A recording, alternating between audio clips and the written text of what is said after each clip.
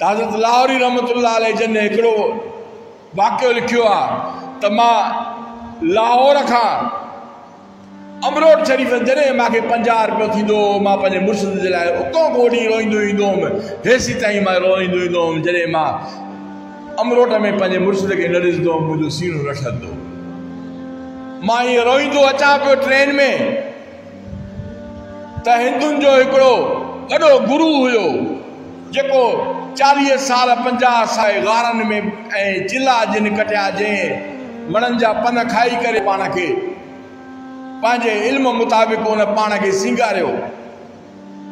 وہ ٹرین میں ویٹ ہو امرود شریف جی طرف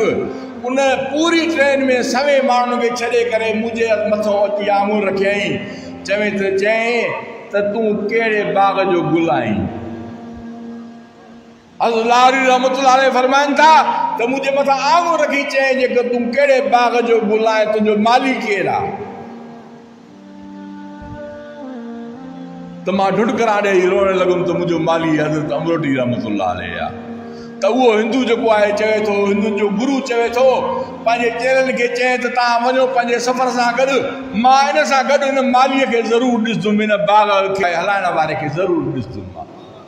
چے مسا گرجی آیو،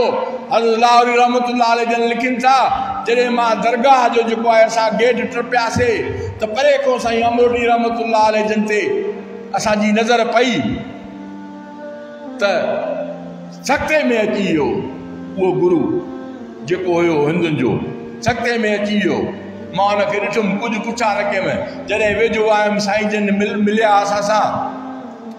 ان کے وجہ وجا جو ہے پاتل ہویا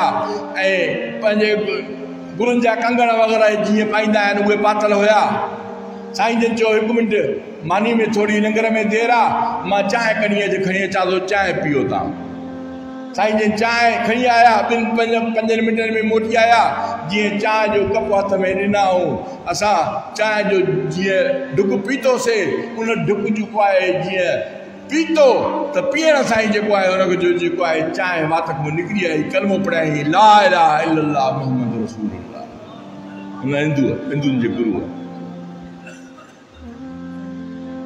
ته سائين جن جيڪو آهي ان جي ڪلب تي رکي ڪري ۽ ان کي چئو ته هاڻي ٻيهر پڙهو لا الاها اللاهه محمد رسول ان ڪلمو پڙهيو سائين جن ان کي ڪجهه ازڪار جيڪو آهي ٻڌايا ان کي چيو ته جيڪو آهي هاڻي وڃي پنهنجي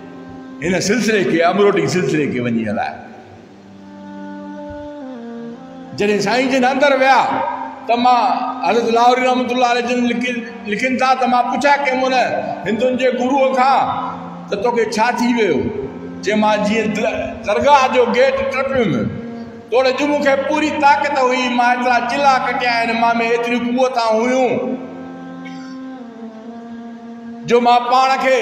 کنٹرول آئے، ناف کا ویوائے زبان سے و زوری نکتو پہ سائی اموٹی رحمت اللہ جن کے صرف نظر سے ڈٹم نکتو پو بھی میں کنٹرول کم سائی جن ملیا جن نگر کی چاہے جو ڈک مجھے بات میں پھگو، تو وہ کنٹرول مجھے نکری ہو